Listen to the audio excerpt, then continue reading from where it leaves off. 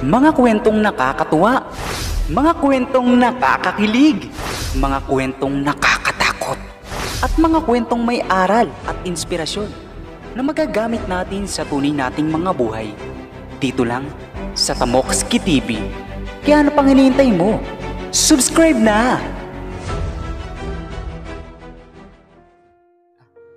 Biglang tinawag siya ng bunso niyang kapatid na si Ella. Ate, nakita ko ito sa labahan ni nanay. Di ba ito yung lakit na nakasabit sa leeg ni Jocelyn nung iniuwi mo siya rito? Ngayon ko lang nakita na may lamang maliit na papelitong lakit sa loob. May nakasulat na address. Wika ng dalagita. A, a ano? Bumilis ang tibok ng puso ni Christy. Bakit ganoon? Di ba ito na ang pinakahihintay niya? Di ba noon ay hiling niya na may kumuha sa batang iniwan sa kanya? Bakit ngayon narito na? Bakit nasasaktan siya? Napamahal na sa kanya si Jocelyn. Kung magiging makasarili siya, ay ayaw na niya itong ibalik pa. Ate, alam kong napamahal na sa iyo si Jocelyn. Pero karapatan niya na malaman ng tungkol sa kanyang pagkatao. Sabi ni Ella na tila nabasa ang iniisip niya. Alam ko naman eh, Mamaya pagkagaling niya sa eskwela ay pupuntahan namin ng address. Malungkot niyang tugon. Kinahaponan pagkatapos ng klase ay halos ayaw nang huminto ng luhang dumadaloy sa mga mata ni Christy habang bitbit ang bata. Nasa harap na sila ng malaking bahay. Pinindot niya ang doorbell at pinapasok naman sila ng isa sa mga kasambahay na naroon. Anak, tingnan mo si nanay. Tingnan mo mukha ni nanay. Huwag mo akong kakalimutan ha. Lagi mong tatandaan na mahal na mahal kita. Biling niya rito. Nagtataka namang ngumiti ang bata. Oo naman po nanay, mahal na mahal din po kita. Kahit hindi niyo po ako totoong anak, binusog niyo naman po ako sa pagmamahal. Basta po, kapag hindi ko nagustuhan dito sa mga tunay kong magulang, ay babalik po ako sa inyo. Pinipigilan niya ang sarili, pero naroon na sila. Hindi na maaaring umatras pa. Maya-maya ay humarap na sa kanilang may-ari ng malaking bahay.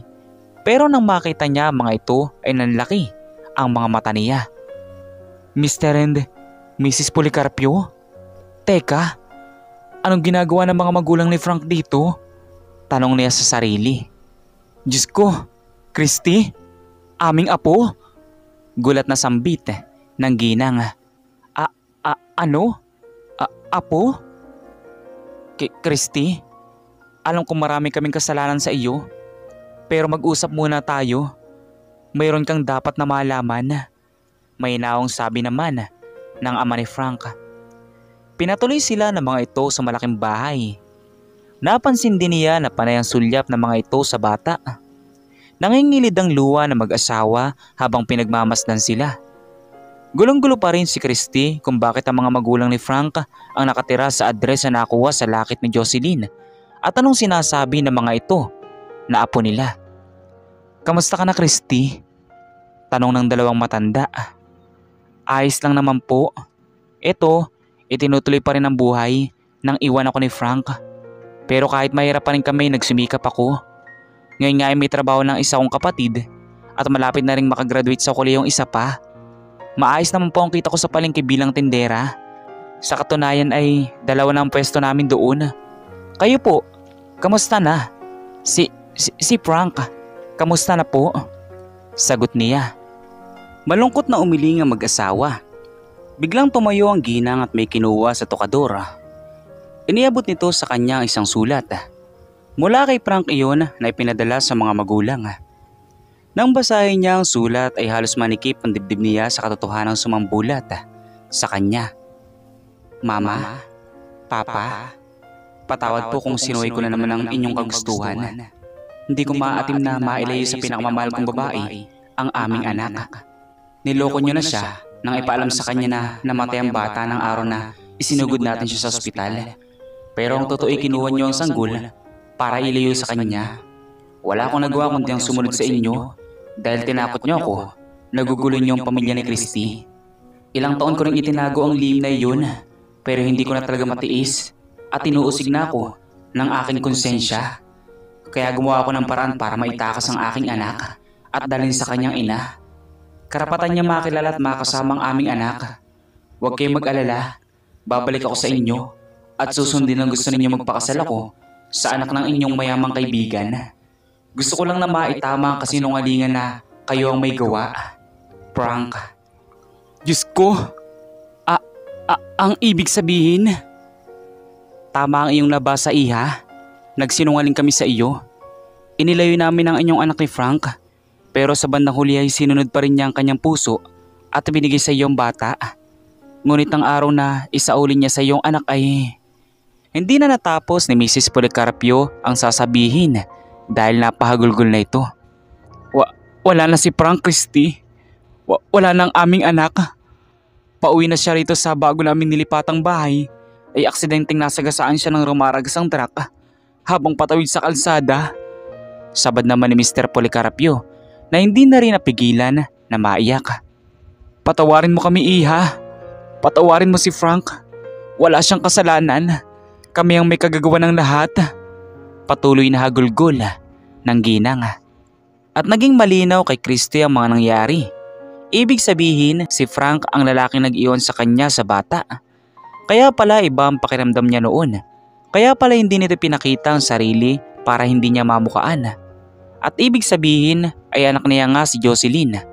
Ang anak na inakala niyang patay na nang isilang niya.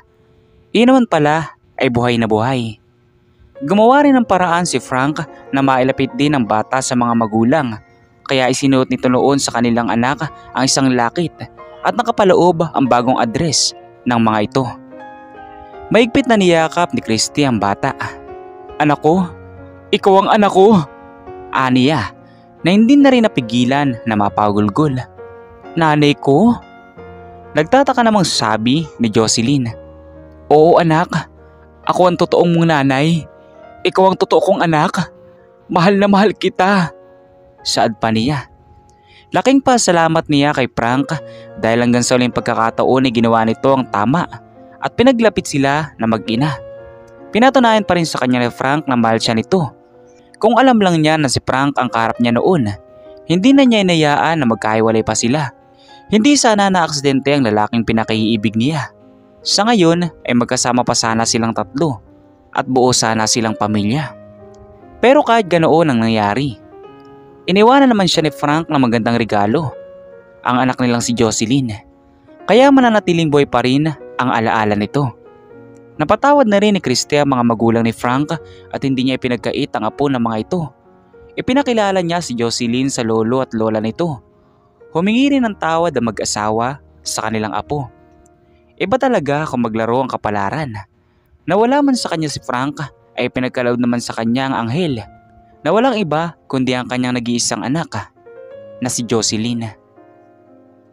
Kayo, ano pang masasabi niyo sa maiksing kwento natin ngayon at kung anong aral po mga natutunan nyo? Maaari nyo po bang i-comment dun sa baba dun sa comment section para muli ko pong mabasa? So once again, inuulit ko pong muli. Ako po si Tamoxki TV. Kita-kita po tayong muli sa mga susunod pa nating mga video. Thank you and God bless. Peace out.